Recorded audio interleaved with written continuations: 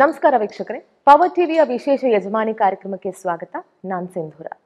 ಆತ್ಮೀಯ ಪ್ರೇಕ್ಷಕರೇ, ನಿಮ್ಮೆಲ್ರಿಗೂ ಗೊತ್ತೇ ಇದೆ, ಪವರ್ ಟಿವಿ ನಾಡಿನ ಸಾಧಕಿಯರ ಸಾಧಕ ಬದುಕಿನ ಅನಾವರಣವನ್ನ ಮಾಡ್ತಾ ಬಂದಿದೆ. ಅತ್ಯಮೂಲ್ಯವಾದ ಸಾಧನೆಯನ್ನ ಮಾಡಿರುವಂತಹ ಸಾಧಕಿಯರು ಇವತ್ತಿನ ಜನರೇಷನ್ಗೆ ಏನೆಲ್ಲ ಮೆಸೇಜ್ ಅನ್ನ ಕೊಡ್ತಾರೆ, ಅವರ ಬದುಕು ಹೇಗಿತ್ತು, ಎಲ್ಲ ಕಷ್ಟಗಳನ್ನ ಮೀರಿ ಹೇಗೆ ಇವತ್ತು ಸಾಧಕಿಯರ ಸ್ಥಾನದಲ್ಲಿದ್ದಾರೆ ಅನ್ನುವಂಥ ವಿಚಾರವನ್ನ ತಿಳಿಸ್ತಾ ಬಂದಿದ್ದೀವಿ. ನಿಮ್ಮೆಲ್ರಿಗೂ ಗೊತ್ತೇ ಇದೆ ಪ್ರತಿ ಶನಿವಾರ ಸಂಜೆ ಆರೂವರೆಯಿಂದ ಏಳು ಗಂಟೆಗೆ ಈ ಕಾರ್ಯಕ್ರಮ ಪ್ರಸಾರ ಆಗುತ್ತೆ.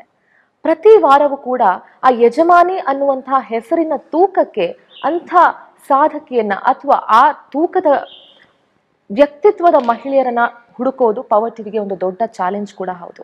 ಹೀಗೆ ನಾವು ಹುಡುಕುವಾಗ ಯಾರನ್ನಪ್ಪ ನಾವು ಈ ವಾರದ ಯಜಮಾನಿಗೆ ಕಾರ್ಯಕ್ರಮಕ್ಕೆ ಅತಿಥಿಯಾಗಿ ಕರಿಬೇಕು ಅಂತ ಅನ್ಕೊಂಡಾಗ ಥಟ್ ಅಂತ ಒಂದು ಥಾಟ್ ಬರುತ್ತೆ. ಯಾಕಂತಂದ್ರೆ ಕಲಾಕ್ಷೇತ್ರಕ್ಕೆ ಅಂದ್ರೆ ನೃತ್ಯ ಕ್ಷೇತ್ರಕ್ಕೆ ಅಗಾಧವಾದಂಥ ಕೊಡುಗೆಯನ್ನ ಕೊಟ್ಟು ಯಾವ ಪ್ರಶಸ್ತಿ ಬಿಟ್ಟಿದ್ದಾರೆ ಅನ್ನುವಂಥ ಯೋಚನೆ ಮಾಡಬೇಕು ನಾವು. ಯಾಕೆಂತಂದ್ರೆ ನಾಡಿನ ಬಹುತೇಕ ಪ್ರಶಸ್ತಿಗಳನ್ನ ಪಡ್ಕೊಂಡಿದ್ದಾರೆ. ಆರ್ಯಭಟ ಇರಬಹುದು, ಕೆಂಪೇಗೌಡ ಪ್ರಶಸ್ತಿ ಇರಬಹುದು, ಅಥವಾ ಇನ್ನು ದೊಡ್ಡ ದೊಡ್ಡ ಪ್ರಶಸ್ತಿಗಳು. ಜೊತೆಗೆ ಅವರ ಸ್ಪಷ್ಟ ಕನ್ನಡ, ಜೊತೆಗೆ ಅವರ ಕಾಸ್ಟ್ಯೂಮ್ ಸೆನ್ಸ್ ಜೊತೆಗೆ ಅವ್ರು ಹಾಕುವಂಥ ಆಕ್ಸೆಸರೀಸ್ ಏನು ಹೇಳ್ತೀವಿ. ಇದೆಲ್ಲದರಿಂದ ತಮ್ಮದೇ ಆದಂಥ ಒಂದು ವೈಶಿಷ್ಟ್ಯತೆಯನ್ನು ಮೂಡಿಸ್ಕೊಂಡಿದ್ದಾರೆ. ದ ವೆರಿ ಫೇಮಸ್ ಜೊತೆಗೆ ಕಲಾಶ್ರೀ ಶ್ರೀಮತಿ ವೈಜಯಂತಿ ಕಾಶಿ ಅವರು ನಾನು ಅವ್ರನ್ನ ಕಾರ್ಯಕ್ರಮಕ್ಕೆ ಬರ್ಮಾಡ್ಕೊಳ್ತೀನಿ. ಮೇಡಮ್ ನಮಸ್ತೆ ಕಾರ್ಯಕ್ರಮಕ್ಕೆ ಸ್ವಾಗತ. ನಮಸ್ತೆ. ನಾನಾಗಲೇ ಹೇಳ್ತಾ ಇದ್ದೆ ನಿಮ್ಮದೇ ಆದಂಥ ಒಂದು ವಿಭಿನ್ನ ರೀತಿಯ ಒಂದು ಡಾನ್ಸ್ ಪರ್ಫಾರ್ಮೆನ್ಸ್ ಇರಬಹುದು ಅಥವಾ ವ್ಯಕ್ತಿತ್ವ ಅಂತ ನಾನು ಹೇಳಕ್ಕೆ ಇಷ್ಟಪಡ್ತೀನಿ. ಇದರಿಂದ ನಿಮ್ಮದೇ ಆದಂಥ ಒಂದು ಸ್ಥಾನಮಾನವನ್ನು ಪಡ್ಕೊಂಡಿದ್ದೀನಿ. ಮತ್ತು ನಿಮ್ಮನ್ನು ಫಾಲೋ ನನ್ನನ್ನು ಒಳಗೊಂಡಂತೆ ಫಾಲೋ ಮಾಡ್ತಾ ಇರೋ ತುಂಬ ಜನ ಇದ್ದಾರೆ. ಮೊದಲನೇದಾಗಿ ನಿಮಗೆ ಕಾರ್ಯಕ್ರಮಕ್ಕೆ ಆತ್ಮೀಯ ಸ್ವಾಗತ ಮತ್ತೊಮ್ಮೆ. ಜೊತೆಗೆ ಹೇಗಿದ್ದೀರಿ? ನಾನು? ಸಂತೋಷವಾಗಿ ಪೀಸ್ಫುಲ್ ಆಗಿದ್ದೀನಿ.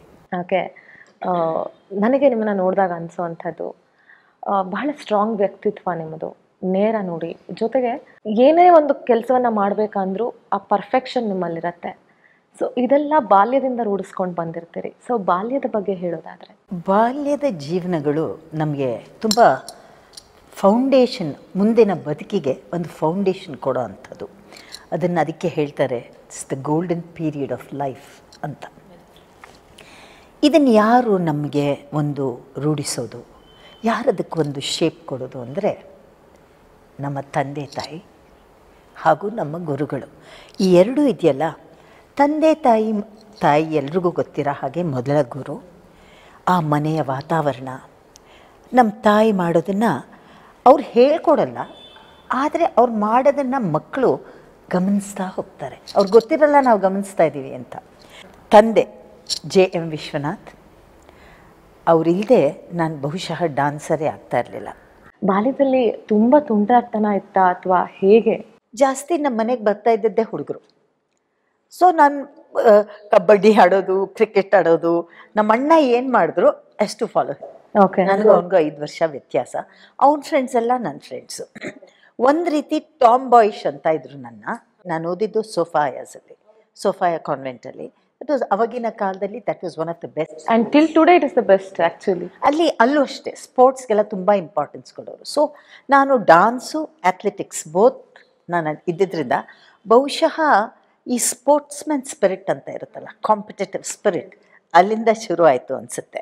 ಬಟ್ ಆ ತಂದೆ ತಾಯಿಯ ಕನಸನ್ನು ಈಡೇರಿಸುವಂಥ ಒಂದು ಉತ್ಸಾಹ ಅಥವಾ ಇಚ್ಛಾಶಕ್ತಿ ಮಕ್ಕಳಲ್ಲೂ ಇರಬೇಕಾಗತ್ತೆ. ಸೊ ನೀವೇನು ಹೇಳ್ತೀರಿ? ನನಗೆ ನಾನು ಡಾನ್ಸರ್ ಆಗಬೇಕು ಅಥವಾ ಆ್ಯಕ್ಟ್ರೆಸ್ ಆಗಬೇಕು ಅನ್ಸೆ ಅಂತ ಅನಿಸೇ ಇರಲಿಲ್ಲ. It was a very normal ordinary life with no goals ನಾನು ಆ್ಯಕ್ಚುಲಿ ಡಾನ್ಸ್ ಅಂದರೆ ಇಷ್ಟನೇ ಇರಲಿಲ್ಲ.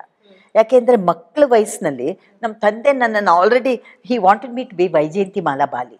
Okay ಆ ಶಿಸ್ತು ನಮ್ಮ ಗುರುಗಳು ವಿಪರೀತ ಶಿಸ್ತು ನಮ್ಮ ತಂದೆನೂ ವಿಪರೀತ ಶಿಸ್ತು. ಎಸ್ ಎಸ್ ಎಲ್ ಸಿಗೆ ಬಂದಾಗ ಅದೇ ಕಾರಣ. ನನಗೆ ಎರಡೂ ಮ್ಯಾನೇಜ್ ಮಾಡೋಕ್ಕಾಗ್ತಾ ಇಲ್ಲ. ಬಿಟ್ಬಿಟ್ಟೆ ಡಾನ್ಸ್ ಆ ಟೈಮ್ ನಮ್ಮ ಗುರುಗಳು ಬರೋದು ನಿಲ್ಲಿಸ್ಬಿಟ್ರು ಬಾ, ಸದ್ಯ ಅಂತ ಅಂದ್ಕೊಂಡೆ ಆದರೆ ಕಲೆ ನಾನು ಬಿಡಲಿಲ್ಲ ಎಲ್ಲರೂ ನನಗಿಂತ ಹಿರಿಯರಾದಿದ್ದರಿಂದ ಫ್ರೆಂಡ್ಲಿ ಆಗಿದ್ರು ವಿನಃ ಇದು ಮಾಡಲೇಬಾರ್ದು, ಇದೆಲ್ಲ ಹೇಳ್ತಾ ಇರಲಿಲ್ಲ.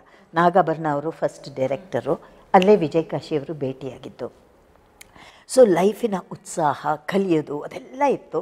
ಮತ್ತು ಆವಾಗ ನಾವು ತುಂಬ ಟೂರ್ ಮಾಡ್ತಾ ಇದ್ವಿ. ಸುಮಾರು ಜ ಜಾಗಕ್ಕೆ ಹೋಗಿ ಸಂಖ್ಯಾ ಬಳ್ಯ ಮಾಡಿದ್ದೀವಿ ನನ್ನ ಟೈಮಲ್ಲಿ ನಂಗೆ matured friends creative friends achieve ಮಾಡಬೇಕು. ಈಗ ನಾಗಾಭರಣ ಅವರಾಗಲಿ ಅಥವಾ ಸಿ ಜಿ ಕೆ ಆಗಲಿ ಅಥವಾ ಆರ್ ನಾಗೇಶ್ ಆಗಲಿ ಅವರೆಲ್ಲ ತುಂಬ ದೊಡ್ಡ ವ್ಯಕ್ತಿಗಳು.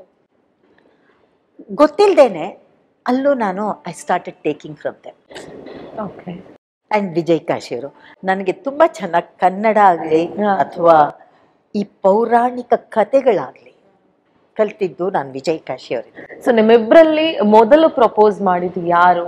ವಿಜಯ್ ಕಾಶಿ ಅವರು ಬಹಳ ಸರಳ ವ್ಯಕ್ತಿ. ಮಲ್ನಾಡ್ ಹುಡುಗ. ಜೊತೆಗೆ ನಮ್ಮ ಅಮ್ಮಂಗೂ ಬಹಳ ಇಷ್ಟ ಆಗ್ಬಿಟ್ಟಿತ್ತು. ಎಂಥ ಒಳ್ಳೆ ಹುಡುಗ ಎಂಥ ಒಳ್ಳೆ ಹುಡುಗ. ಸೊ ಅಲ್ಲೂ ನನಗೆ ಇನ್ಫ್ಲುಯೆನ್ಸ್ ಆಗ್ತಾ ಹೋಯ್ತು. ಅವರೇ ಪ್ರಪೋಸ್ ಮಾಡಿದ್ರು. ನಾನು ಅವಾಗ ಯಾವುದೋ ಒಂದು ಫಿಲ್ಮ್ಗೆ ಸೈನ್ ಮಾಡಿದ್ದೆ. ಓಕೆ ಸೊ ಈಗ ಆ್ಯಸ್ ಇಟ್ ಈಸ್ ತುಂಬ ಹಳ್ಳಿ ಮತ್ತು ಡಿಫ್ರೆನ್ಸಸ್ ಇರುತ್ತೆ. ಈಗ ಇದನ್ನು ಫಿಲಮ್ಮು ಬಂದುಬಿಟ್ರೆ ಇನ್ನೂ ಕಷ್ಟ ಆಗ್ಬೋದು ಅಂತ. ನನ್ನ ಕೆರಿಯರು ಡಾನ್ಸ್ ಬೆಳ್ ಡಾನ್ಸ್ ಮಾತ್ರ ಬಿಡಲಿಲ್ಲ ನಾನು. ಆ್ಯಕ್ಟಿಂಗು ವಿಜಯ್ ಕಾಶಿನೂ ಆ್ಯಕ್ಟಿಂಗಲ್ಲಿ ಇದ್ದಿದ್ದರಿಂದ ಥಿಯೇಟರ್ ಮಾಡೋಣ ಒಟ್ಟಿಗೆ ಈ ಕನಸುಗಳಿಂದ ನಾನು ಒಪ್ಕೊಂಡ್ಬಿಟ್ಟೆ. ಓಕೆ ನೀವು ಹಾಬಿ ಆಗಿ ಸ್ಟಾರ್ಟ್ ಮಾಡಿದಂಥ ಕಲೆ ಪ್ರೊಫೆಷನ್ ಆಗಿದ್ದು ಯಾವಾಗ? ಹಾಬಿ ಯಾಕೆ ಶುರು ಮಾಡಿದೆ. ನಾನು ಹೇಳಿದೆ ಅಲ್ವಾ ಕಲೆಯಲ್ಲೇ ನಾನು ಬಿಡಲಿಲ್ಲ. ಹಂತ ಹಂತವಾಗು. ಸಡನ್ನಾಗಿ ಯಾವುದೋ ಒಂದು ಕೂಚಿಪುಡಿ ಗುರು ಸಿ ಆರ್ ಆಚಾರ್ಯ ಅಂತ ಬಂದರು. ಕಾಲಲ್ಲಿ ನೃತ್ಯ ಕಾಲಲ್ಲಿ ಹೆಜ್ಜೆ ಹಾಕ್ತಾ ಹಾಕ್ತಾ ಚಿತ್ರಾನ್ನ ಮೂಡಿಸೋದು. ನಂಗೆ ಅದು ತುಂಬ ಫ್ಯಾಸಿನೇಷನ್ ಅನಿಸ್ತು. ಕೈಯಲ್ಲೇ ನಾನು ಸರಿಗೆ ಡ್ರಾ ಮಾಡೋಕ್ಕೆ ಬರಲ್ಲ ಕಾಲಂಗೆ let me try I like challenges ಯಾವಾಗಲೂ. ನನ್ನ ಬದುಕಲ್ಲಿ ಚಾಲೆಂಜಸ್ ನನಗೆ ಭಾಳ ಇಷ್ಟ. ಅಲ್ಲಿಂದ ಸುಮಾರು ವರ್ಷ ಅವ್ರ ಜೊತೆ ಕಲಿತೆ. ಅವ್ರು ನಿಲ್ ಬರೋದು ಅವ್ರ ವಯಸ್ಸಾಗಿತ್ತು ತುಂಬ. ಅವ್ರು ಬರೋದು ನಿಲ್ಸ್ಮೇಲೆ ಸರ್ಕಾರನೇ ನನಗೆ ಸ್ಕಾಲರ್ಶಿಪ್ಗೆ ವಾ ಆಂಧ್ರಕ್ಕೆ ಕಳಿಸಿದ್ರು. ಅಲ್ಲಿನ್ನ ಒಂದು ಬೇರೆ ಗುರುಗಳು, ಅಲ್ಲಿ ಇನ್ನೊಂದೇನೋ ಕಲಿ, ಕಲಿಕೆ. ಸೊ ಈ ರೀತಿ ಹಂತ ಹಂತವಾಗೂ ತುಂಬ ಶ್ರೇಷ್ಠವಾದ ಗುರುಗಳ ಜೊತೆ ನನ್ನ ಒಂದು ತುಂಬ ಡೀಪ್ ಸಂಬಂಧ ಅಂತ ಹೇಳ್ಬೋದು. ಇವತ್ತವರೆಗೂ ನಾವು ಒಂದು ಮೂವತ್ತೈದು ವರ್ಷದಿಂದ ಈ ಸತತವಾಗಿ ಫೀಲ್ಡಲ್ಲಿದ್ದೀವಿ. ಬಟ್ ಯಾವುದೇ ಒಂದು ಪ್ರೋಗ್ರಾಮಲ್ಲೂ ಒಂದು ಚಾಲೆಂಜ್ ಇರುತ್ತೆ. ಯಾವುದಾದ್ರೂ ರೀತಿ. ಸೊ ಆ ಚಾಲೆಂಜ್ನು ನನಗೆ ತುಂಬ ಸ್ಟ್ರಾಂಗ್ ಆಗಿ ಮಾಡ್ತಾ ಹೋಯಿತು. ಪ್ರಶಸ್ತಿಗಳು ಅರಸಿ ಬಂದಾಗ ಆಬ್ವಿಯಸ್ಲಿ ಸಂತೋಷ ಆಗೇ ಆಗುತ್ತೆ. ಜೊತೆಗೆ ಈಗ ಅಷ್ಟು ಕಷ್ಟಪಟ್ಟು ಬಂದಿರ್ತೀವಿ. ಒಂದೊಂದು ಸಾಧನೆ ಮಾಡಬೇಕಂದ್ರೂ ಫ್ಯಾಮಿಲಿ ಮತ್ತೆ ಪ್ರೊಫೆಷನ್ ಎರಡೂ ಬ್ಯಾಲೆನ್ಸ್ ಮಾಡಿಕೊಂಡು. ಯಾಕಂದ್ರೆ ಫ್ಯಾಮಿಲಿ ಬಿಡೋಕ್ಕಾಗಲ್ಲ ಆಗಲ್ಲ. ಖಂಡಿತ. ಸೊ ಹಾಗೆ. ಸೊ ಹೇಗೆ ಅನ್ಸುತ್ತೆ ಪ್ರಶಸ್ತಿಗಳು? ನನಗೆ ತುಂಬ ಮುಖ್ಯವಾದ ಪ್ರಶಸ್ತಿ ಕೇಂದ್ರ ಸಂಗೀತ Nritya. Academy award. Presidential award ಅಂತ ಹೌದು. ಸಂತೋಷ ಬೇಸರ ಎರಡು. ನನ್ನ ಸ್ಟೇಟ್ನಲ್ಲಿ ನನಗೆ ರೆಕಗ್ನೈಸ್ ಮಾಡ್ತಾ ಇರೋದು ನನಗೆ ಸೆಂಟ್ರಲಲ್ಲಿ ಮಾಡಿದ್ರು. ಕೂಚಿಪುಡಿಗೆ ಕನ್ನಡದವ್ರಿಗೆ ಬಂದಿರೋದು. ಅಂದರೆ ಬೇರೆ ಫಸ್ಟ್ ಟೈಮ್ ಇಲ್ಲಿವರೆಗೂ. ಹೌದು. ಐ ನನ್ನ ಗುರುಗಳನ್ನ ಒಂದು ರೆಸ್ಪೆಕ್ಟ್ನ ನಾನು ಉಳಿಸ್ಕೊಂಡಲ್ಲ ಅಂತ ಬಹಳ ಖುಷಿ ಆಯಿತು. C presidential Sangeetha Nritya academy award is a highest award ಹೌದು. Where no politics is true true true so ಯಾವುದೇ ಇನ್ಫ್ಲೂಯೆನ್ಸ್ ಇಲ್ಲದೆ ಏನೂ ಇಲ್ಲದೆ ಇದು ಬಂತಲ್ಲ I I was thankful to God but ಒಂದೊಂದು ಪ್ರಶಸ್ತಿ ಬಂದಾಗಲೂ ನಾನು ಯಾವಾಗಲೂ ಅಂದ್ಕೊತೀನಿ ನನ್ನ ಹೆಸರು ವೈಜಯಂತಿ ಅದು ಒಂದೊಂದು ಹೂವು. ಒಂದು ಪ್ರಶಸ್ತಿ ಒಂದು ಹೂವು ಅದು ನನ್ನನ್ನು ಆ ಹೂ ಮಾಲೆಯಾಗಿ I get closer to God. God ತುಂಬ ದೊಡ್ಡ ಮಾತು. ಆ್ಯಂಡ್ ನಿಮ್ಮ ಮಗಳು ಕೂಡ ಒಳ್ಳೆಯ ನೃತ್ಯಗಾರ್ತಿ. ಸೊ ಮಗಳು ಕೂಡ ನಿಮ್ಮಂತೆ ಆಗಬೇಕು ಅಂತ ವಿಜಯ್ ಕಾಶಿ ಆಗಲಿ ನಾನಾಗಲಿ ಯಾವತ್ತೂ ನೀನು ಆರ್ಟಿಸ್ಟ್ ಆಗಬೇಕು ಅಂತ ಫೋರ್ಸ್ ಮಾಡಲಿಲ್ಲ. ಓಕೆ ನಾವು ಯಾವಾಗಲೂ ಸ್ಟ್ರಾಂಗ್ ಎಜುಕೇಷನ್ ಕಲ್ಚರ್ ಇದನ್ನೇ ಹೇಳ್ಕೊಟ್ವಿ. ಆಮೇಲೆ ಅವಳು ಅವಳು she's a very brilliant girl ಈಗಿನ ಜನ್ರೇಷನ್ ದೇ ವೆರಿ ಸ್ಮಾರ್ಟ್ ಯಾಕೆಂದರೆ ಅವ್ರಿಗೆ ಅಷ್ಟೊಂದು ಎಕ್ಸ್ಪೋಷರ್ ಇದೆ ಆ್ಯಂಡ್ ದೇ ಹೈಲಿ ಸೆನ್ಸಿಟಿವ್ ಅವಮಾನ ಅಪಮಾನ ಎಲ್ಲ ಇದ್ದಾಗ್ಲೇನೆ ಒಬ್ಬ ಸಾಧಕ ಅಂತ ಅನ್ಸ್ಕೊಳ್ಳೋದಕ್ಕೆ ಸಾಧ್ಯ. ನಿಮ್ಮ ಜೀವನದಲ್ಲಿ ಮರೆಯಲಾಗದ ಅಂತ ಒಂದು ಘಟನೆ ಯಾವುದಾದ್ರೂ ಇದ್ರೆ ಯಾವುದು? ನೋಡ್ರಿ, ಸಾಮಾನ್ಯವಾಗಿ ಬೆಳವಣಿಗೆ ಒಬ್ಬರು ಪ್ರೋಗ್ರೆಸ್ ಆಗ್ತಾ ಇದ್ದಾರೆ ಅಂದರೆ ತುಂಬ ಜನಕ್ಕೆ ಸಹಿಸೋಕ್ಕಾಗಲ್ಲ. ಆದರೆ ನಾವು ಆ ಸಹಿಸೋಕ್ಕಾಗಲ್ಲ ಅನ್ನೋರನ್ನೇ ನಾವು ತುಂಬ ಪ್ರೀತಿಸ್ಬೇಕು. ಈಗ ನಾವು ನಮ್ಮನ್ನ ಬೆಂತಟ್ಟಿ ವಾ ವಾವ್ ಅನ್ನೋರನ್ನ ನಾವು ನೆಚ್ಕೊಂಡ್ಬಿಟ್ರೆ ನಮ್ಮ ಕೇಪಬಿಲಿಟಿ ಫುಲ್ಲೆಸ್ಟ್ ಪಾಸಿಬಿಲಿಟಿಗೆ ಹೋಗಲ್ಲ. ಯಾಕೆಂದ್ರೆ ನಮ್ಗೆ ಅದೇ ಉಬ್ ಉಬ್ಬಿಡುತ್ತಲ್ವಾ? ಕ್ರಿಟಿಸೈಸ್ ಮಾಡ್ತಾರೆ ನೋಡಿ. ಅವ್ರನ್ನ ಇಟ್ಕೊಬೇಕು ಯಾವಾಗಲೂ. ನನ್ನ ಲೈಫು ಇಷ್ಟು ಕೆರಿಯರಲ್ಲಿ ನಾನೇನಾದರೂ ಅಚೀವ್ ಮಾಡಿದ್ದೀನಿ ಅಂದರೆ ಥ್ಯಾಂಕ್ಸ್ ಟು ನನ್ನನ್ನು ಯಾರ್ಯಾರು ಕಂಡಮ್ ಮಾಡಿದಾರೋ ಅವ್ರನ್ನ ಎಲ್ಲ ಭಾವನೆಗಳು ಮೀರಿದಾಗ ನಿಜವಾದ ಭಕ್ತಿ not only to God but ಡಾನ್ಸ್ಗೂ ಬರುತ್ತೆ. ಅವ್ರು ಬೈದರು it doesn't matter to me ಇದು ಇದು ಎಷ್ಟು ದಿವಸ ಬೈತೀರಾ? ಓಕೆ ಬೈಕೊಳ್ಳಿ. ನನ್ನಲ್ಲಿರೋ ಕಲೆನಂತೂ ಯಾರು ತಗೊಳಕ್ಕಾಗಲ್ಲ.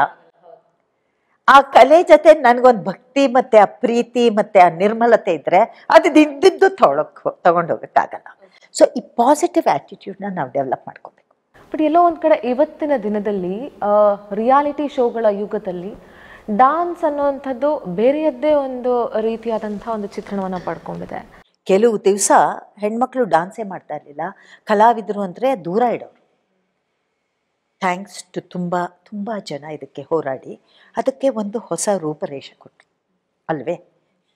ಈಗ ಪ್ರತಿಯೊಂದು ಮನೆಯಲ್ಲೂ ಒಬ್ಬ ನಾನು ಡಾನ್ಸರ್ ಆಗಬೇಕು ನಾನು ಆ್ಯಕ್ಟ್ರೆಸ್ ಆಗಬೇಕು ಹುಚ್ಚಿಡ್ದ್ಬಿಟ್ಟಿದೆ ದೇ ವಾಂಟ್ ಟು ಬಿಕಮ್ ಇವತ್ತಿನ ಐ ಥಿಂಕ್ ಕಲಿಯುಗದಲ್ಲಿ ಟು ಬಿಕಮ್ ಸಕ್ಸಸ್ಫುಲ್ ಜೀವನ ಇರೋದು ಒಂದ್ಸತಿ ನಾನು ಅಚೀವ್ ಮಾಡಿ ಹೋಗಬೇಕು ಅಂತ ತುಂಬ ಜನರ ಮನಸ್ಸಲ್ಲಿ ಬಂದ್ಬಿಟ್ಟಿದೆ. ಓಕೆ ಆ್ಯಂಡ್ ಅದಕ್ಕೆ ಸರಿ T V social media is the best best platform ವಾಟ್ಸಪ್ಪಲ್ಲಿ ಏನು ವಿಡಿಯೋಗಳು ಎಲ್ಲಾದ್ರೂ ಎಲ್ಲ ಓಕೆ ಆ್ಯಂಡ್ ಕ್ಯಾಮ್ರಾ ಎಷ್ಟು ಮೊಬೈಲ್ ಅನ್ನೋ ಇನ್ವೆನ್ಷನ್ನೇ ಇಲ್ಲ.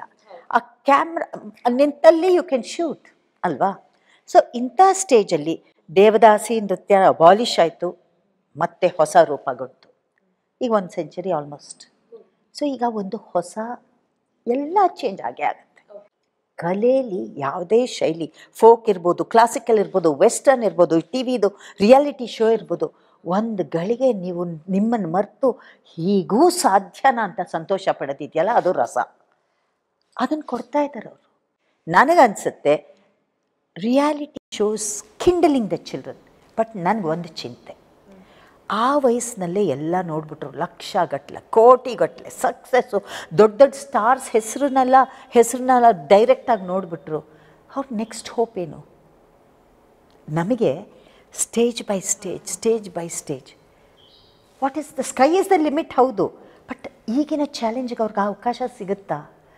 ಆ ಮಕ್ಳಿಗೆ ನಾನು ಹೇಳೋದೇನು ಅಂದರೆ ಜಸ್ಟ್ ನಿಮ್ಮ ಇನೋಸೆನ್ಸ್ನ ಕಳ್ಕೊಂಡಿದೆ, ಇನ್ನು ಬೇರೆ ಲೈಫಲ್ಲಿ ಏನೇನೋ ಇದೆ ಅದನ್ನು ನೋಡ್ತಾ ಹೋಗಿ, ಎಲ್ಲೋ ಸ್ಟ್ಯಾಗ್ನೇಟ್ ಆಗಬೇಡಿ, ಅಥವಾ, ಓ, ನಾನು ಅವಾಗಲೇ ಎಷ್ಟು ತೊಗೊಂಡೆ ಅಂತ ಜಂಬಾನೂ ಪಡಬೇಡಿ. ಇನ್ನು ಪ್ರತಿಯೊಂದರಲ್ಲೂ ನಾವು ಲೈಫಲ್ಲಿ ಒಂದು ಮನೆ ಇಟ್ಕೊಳ್ಳೋದು ಒಂದು ಆರ್ಟ್. ಅಲ್ವಾ? ಅದು ನನಗೆ ನಿಮ್ಮ ಮನೆಗೆ ಬಂದ್ಮೇಲೆ ನಿಜವಾಗ್ಲೂ ಅದು ಅಕ್ಷರಶಃ ನಿಜ ಅನ್ಸುತ್ತೆ. ಬದುಕಿನ ಪುಟಗಳನ್ನ ಇಲ್ಲಿವರೆಗೂ ತೆಗೆದು ನೋಡಿದಾಗ ಅಥವಾ ನಿಮ್ಮ ಮೂವತ್ತೈದು ವರ್ಷದ ಒಂದು ಪ್ರೊಫೆಷನಲ್ ಲೈಫನ್ನ ಜರ್ನಿಯನ್ನು ನೆನೆಸ್ಕೊಂಡಾಗ ಏನು ಅನಿಸುತ್ತೆ? ಲೈಫ್ ನನಗೆ ಕೊಟ್ಟ ಗಿಫ್ಟ್ ಆಗಲಿ ಏನೇ ಆಗಲಿ ಅದನ್ನು ನಾನು ಬಹಳ ಪಾಸಿಟಿವ್ ಆಗಿ ತೊಗೊಂಡಿದ್ದೀನಿ. ಈ ಪಾಸಿಟಿವಿಟಿನೇ ಮತ್ತು ನನಗೆ ಆ ಕಲಿಯೋದು ಪ್ರತಿಯೊಂದರಲ್ಲೂ ಕಲಿಬೇಕು. ಇಂಪ್ರೂವ್ ಆಗಬೇಕು ಅನ್ನೋ ನನ್ನ ದಟ್ಸ್ ನನ್ನ ಕ್ಯಾರೆಕ್ಟರ್ ನನ್ನ ನನ್ನರಸಿ ರಾಧೆ ಸೀರಿಯಲಲ್ಲಿ ಮಾಡ್ತಾ ಇದ್ರಿ. ಬಹಳಷ್ಟು ಜನಕ್ಕೆ ನೋಡಿದವ್ರಿಗೆಲ್ಲ ನನ್ನ ಮನೇಲಿ ಇಂಥ ಒಬ್ರು ಸೋದರತ್ತೆ ಇರಬಾರ್ದಾ ಅಂತ ಅನ್ಕೊಂಡವ್ರು ಬಹಳಷ್ಟು ಜನ ಇದ್ದಾರೆ ಆ್ಯಂಡ್ ನಾನು ಕೂಡ ಅನ್ಕೊಂಡಿದ್ದೀನಿ ಆ ಧಾರಾವಾಹಿಲಿ ನಿಮ್ಮ ಪಾತ್ರವನ್ನ ನೋಡಿದಾಗ. ಸೊ ಏನು ಹೇಳ್ತೀರಿ? ನನ್ನರಸಿ ರಾಧೆ ನೋಡಿದಾಗ ನನಗೆ ಒಬ್ಬೊಬ್ಬರಿಂದನೂ ಅಲ್ಲಿ ಕಲಿಯೋದೇ ಆ ಯಂಗ್ಸ್ಟರ್ಸು ಆ ಚೇಂಜ್ ಆಫ್ ಜನ್ರೇಷನ್ನು ಆ ಕಾಲದಲ್ಲಿ ಆರ್ಟಿಸ್ಟ್ ಹೇಗಿದ್ರು ಈಗಿನ ಕಾಲದ ಆರ್ಟಿಸ್ಟ್ ಹೇಗಿದ್ದಾರೆ ಅದೆಲ್ಲ ನೋಡ್ತಾ ಒಂದು ಕಲಿಕೆ ಆಗುತ್ತೆ. It becomes a very beautiful thing ಆಮೇಲೆ ನಮ್ಮ ಟೀಮು ನನ್ನ ರಸಿರಾದೆ team it's a very beautiful team ಲೈಫಲ್ಲಿ ಯಾರಿಗಾದ್ರೂ ಥ್ಯಾಂಕ್ಸ್ ಹೇಳಬೇಕು ಅಂತ ಅನಿಸುತ್ತೆ ಯಾರಿಗೆ ಹೇಳ್ತೀರಿ? ಎಲ್ಲರೂ ನನಗೆ ನನ್ನ ಜೀವನದಲ್ಲಿ ಎಸ್ಪೆಷಲಿ ನಮ್ಮ ಅಪ್ಪ ಅಮ್ಮ ನನ್ನ ಗುರುಗಳು ಮೈ ಹೋಮ್ ಮೈ ಹಸ್ಬೆಂಡ್ ಇವತ್ತು ನಾನು ಇಂಥ ಒಳ್ಳೆಯ ಜಾಗದಲ್ಲಿ ಇದ್ದೀನಿ. ನನ್ನನ್ನು ಒಂದು ಪರ್ಸ್ನಾಲ್ಟಿ ಬೆಟರ್ ಪರ್ಸ್ನಾಲ್ಟಿಯಾಗಿ ರೂಢಿಸಿದ್ರಲ್ಲಿ ನನ್ನ ಮಗಳು. ಇವರು ಬಹಳ ಹತ್ತಿರವಾದ ಒಂದು ಸರ್ಕಲ್ ನಮ್ಮ ಅಕ್ಕ ನಮ್ಮಣ್ಣ ಇವರು ಅಷ್ಟೇ the second circle next circle ನನ್ನ ಫ್ರೆಂಡ್ಸು ನನ್ನ ಕೊಲೀಗ್ಸು ನಾನು ಬ್ಯಾಂಕಲ್ಲೂ ವರ್ಕ್ ಮಾಡ್ತಾಯಿದ್ದೆ ಸೊ ಪ್ರತಿಯೊಬ್ಬರದು ಒಂದೊಂದು ಕೊಡುಗೆ ನಮ್ಮ ಜೀವನದಲ್ಲಿರುತ್ತೆ ಎಲ್ರಿಗೂ ನಾವು ಥ್ಯಾಂಕ್ಸ್ ಹೇಳಬೇಕು. Because I want to even thank you today in the media yo power T V ಯಾಕಂದರೆ ಈ ಇಂಟರ್ವ್ಯೂ ಮೂಲಕ ನಾನು ಎಷ್ಟೋ ನೆನಪುಗಳು ಕಲ್ it came back to me ಲೈಫಲ್ಲಿ ಯಾರಿಗಾದರೂ ಸಾರಿ ಹೇಳ್ಬೇಕು ಅನ್ಸಿದ್ಯಾ ನಿಮಗೆ? ನಮ್ಮ ಅಮ್ಮನಿಗೆ. ಯಾಕೆ ಅಂದರೆ ನಾನು ನಮ್ಮಮ್ಮ ಅವಾಗ ನಾನು ಚೇರ್ಮನ್ ಆದಾಗ ಸಂಗೀತ ನೃತ್ಯ ಅಕಾಡೆಮಿ ಚೇರ್ಮನ್ ಆಗಿದ್ದೆ. ನಮ್ಮ ತಾಯಿಗೆ ಅವಾಗ ತುಂಬ ಮೈ ಹುಷಾರಿರಲಿಲ್ಲ. I was scan between my mother and work ನನಗೆ ಒಂದೊಂದು ಸತಿ ಅನ್ಸೋದು ನಾನು ಆ ಫಿಫ್ಟಿ ಪರ್ಸೆಂಟ್ಗಿಂತ ಸೆವೆಂಟಿ ಫೈವ್ ಪರ್ಸೆಂಟ್ ನಮ್ಮಮ್ಮಂಗೆ ಕೊಡಬೇಕಿತ್ತು. ಇಲ್ಲೇ ನೋಡಿ ನಾವು ಯಾವಾಗಲೂ ಥಿಂಕ್ ಮಾಡೋದು, work I am given this responsibility ಮೂರೇ ವರ್ಷ ಅವಧಿ. ಈಗ ಅನಿಸುತ್ತೆ. ಕಲೆಯೆಲ್ಲ ಬಂದು ಹೋಗುತ್ತೆ. ಅಮ್ಮ ಬೇಕು. ಅದು ಒಂದು ನಮ್ಮ ಅಮ್ಮನಿಗೆ ನಾನು ಸಾರಿ ಹೇಳಬೇಕು ಅಂದರೆ I should have given you more time mummy so ಇವತ್ತಿನ ಯಂಗ್ ಜನ್ರೇಷನ್ಗೆ ಯಾಕೆಂದ್ರೆ ಎಷ್ಟೋ ಜನ ಹೆಣ್ಮಕ್ಳು ಇವತ್ತು ಹೆಂಗಾಗೋಗಿದ್ದಾರೆ ಅಂದ್ರೆ ಮನೆ ಬಿಟ್ಟು ಅಲ್ಲಾಡಕ್ಕಾಗಲ್ಲ ಅಥವಾ ಮಕ್ಕಳ ಕೆಲಸ ಬಿಟ್ಟು, ಗಂಡ ಮಕ್ಕಳನ್ನ ಬಿಟ್ಟು ಹೊರಗಡೆ ಹೋಗೋಕ್ಕಾಗಲ್ಲ. ಈ ಕಾರ್ಯಕ್ರಮ ಮಾಡ್ತಾ ನಾನು ಒಂದು ವಿಚಾರ ಕಂಡ್ಕೊಂಡಿದ್ದೇನೆಂದ್ರೆ, ತುಂಬಾ ಸ್ಟಾರ್ಟಪ್ಗಳು ಹೆಣ್ಮಕ್ಳಿಂದಾನೇ ಸ್ಟಾರ್ಟ್ ಆಗಿದೆ. ತುಂಬಾ ಜನ ವಿಮೆನ್ ಆಂಟ್ರಪ್ರಿನರ್ಸ್ ಇದ್ದಾರೆ ಇವತ್ತು, ಬೇರೆ ಬೇರೆ ಕ್ಷೇತ್ರಗಳಲ್ಲಿ. ಬಟ್ ಇದೆಲ್ಲದರ ನಡುವೆ ಎಲ್ಲೋ ಒಂದ್ ಕಡೆ ಅವ್ರಿಗೆ ಅವರು ಎಷ್ಟೇ ಮಾಡಿಫೈ ಆಗಲಿ ಗ್ಲೋಬಲೈಸೇಷನ್ ಆಗಲಿ, ಏನಾದರೂ ಆಗಲಿ, ಅವ್ರಿಗೆ ಅವರು ಟೈಮ್ ಕೊಟ್ಕೊಳಕ್ ಆಗ್ತಾ ಇಲ್ಲ. ನನಗೆ ಯಾವಾಗಲೂ ಅನಿಸಿದ್ದು, ನಿಮ್ಗೇನು ಇವತ್ತು ಚಾಲೆಂಜಸ್ ಇದೆಯೋ?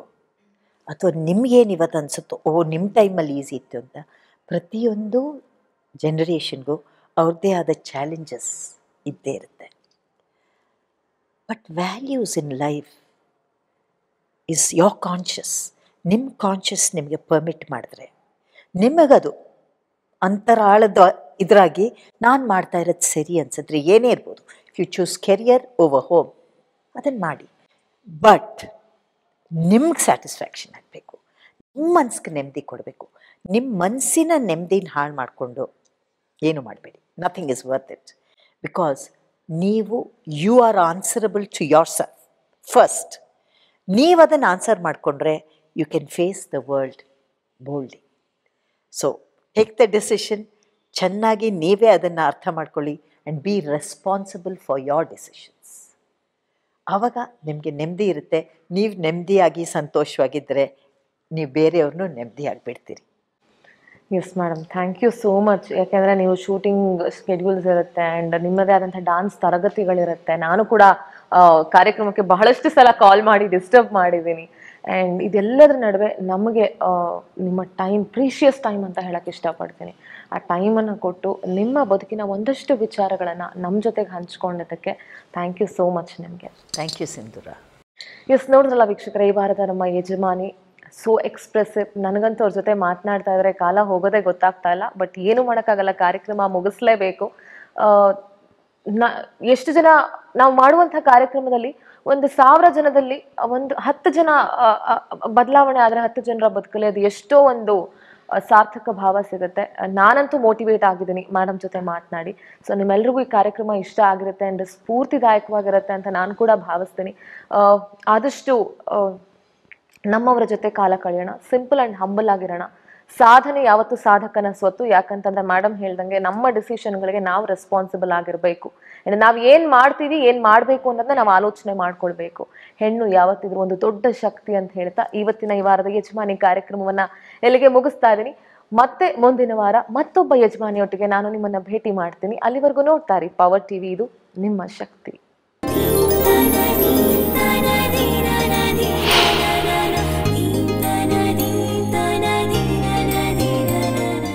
ಕ್ಷಣದ ಸುದ್ದಿ ಹಾಗೂ ಮನರಂಜನೆಗಾಗಿ ಪವರ್ ಟಿವಿ ಡಿಜಿಟಲ್ ಯೂಟ್ಯೂಬ್ ಚಾನೆಲ್ಗೆ ಸಬ್ಸ್ಕ್ರೈಬ್ ಆಗಿ ಬೆಲ್ ಐಕಾನ್ ಒತ್ತಿ.